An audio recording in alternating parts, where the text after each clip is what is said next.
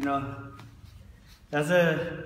I think that's what makes the some of the sports interesting when people talk shit. You know, yeah, you know, it's nice to go and like fight this and like that. You know, people like to start fighting, but I think what leads up to a match when you talk shit. You know, get people more interested in it, especially when you start going at it in the press conference. You know, People that- love that. People, people, people love that controversy shit. That shit sells. You're, you're right. Look, you, Nate Diaz, even McGregor a little bit, uh, Broner, Mayweather, James Toney, Mayorga, all the guys that know how to stand out get a lot of love from the fans. Yeah. They appreciate it. If you don't talk shit, it's hard to be famous. It, it, it's it's real because they see the realness.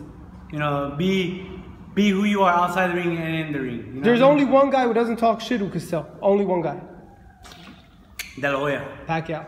Oh yeah, Pacquiao. That's right. But look what Pacquiao did. He did an amazing job. That's why. But he never talked shit. He never talked shit. but look what he did though. He went from 108 all the way to 152 to beat Margarito. And you know, and he fucking like, oh, was it 52 with Margarito? Yeah, 52. But you know, Manny posted a picture today. I don't know if you saw it. But Jackie, I seen that. Half of Manny, half of Mayweather, and it has over 100,000 likes. That means the rematch may happen, him yeah, and Mayweather. that, that so. So the fight's gonna happen maybe. Do you want the winner of the rematch? Nah. Who I- wins that fight? Mayweather Pacquiao I rematch. think I think Mayweather still beats him up. Why? know. I think Mayweather really finds out the way he fight the first time. He already knows how he's doing. He knows how to control him. So I think he'll do it again. Uh, I think it'll be more, it'll be more easier. What, what about Manny had a shoulder injury the first fight? Yeah, that's what they said. But you know what? It doesn't matter. That, you know, this is my theory and this is my guess and this is.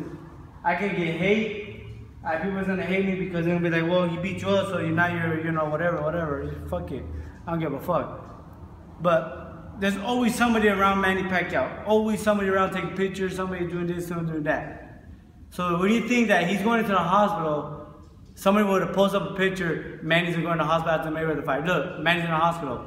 They, they don't have to fucking, they don't even have to fucking walk him in the hospital. All they have to do is show a picture of a hospital, and then Manny Pacquiao would have came out, oh yeah, look, I had surgery. Then people would have believed it, and they would have get a little, okay, okay, I see where they're coming from. But nobody around Manny Pacquiao for you know, nobody said nothing. Nobody took a picture of a hospital. Nobody even, he not even taking the hand of a doc, doctor. So like you question it. I question it. And the scar, that's not even a scar. You know, it looks like a pimple. He shows the mark. It's like a pimple, like he pop a pimple and he has a scar. But but that shouldn't affect the Mayweather rematch either way. I don't think it's either way. I think the first time, I don't think they affect the first Mayweather fight, you know? I think you should accept the loss like a man and just say, fuck it, he beat me up, but I'll be back. Because people like Manny. Yeah. People very- like Manny. Win or lose, they still like him.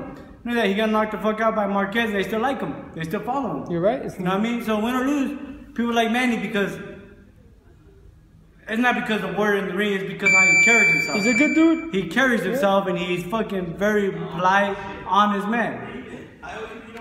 So that's why I said that, you know. But it looks like that fight will happen, though, Brandon. I know Based it's on gonna happen, but I don't think it's gonna sell as much as it made the first one. No, it's not gonna sell four million. Even if it sells a million, a I- seven hundred I don't think thousand. they're gonna make that much money like they made the first one. My, my memory. Maybe Mayweather, but I don't think Pacquiao will make that much. How about you and Ortiz in the undercard? That'd be nice. That's gonna sell. That's gonna help sell. We, we're gonna do it in February. They're doing it. You don't want to wait an extra. Uh, maybe the rematch after you knock him out. If we do the rematch, it depends how it goes. You know what I mean?